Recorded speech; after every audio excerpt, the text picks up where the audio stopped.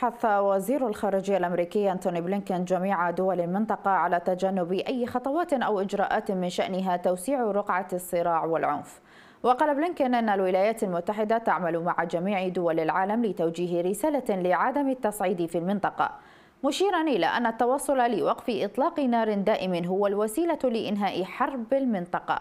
وأشار إلى أنه سيتوجه إلى مصر وقطر للقاء الرئيس المصري عبد الفتاح السيسي وأمير دولة قطر الشيخ تميم بن حمد الثاني للدفع بشأن التوصل إلى صفقة.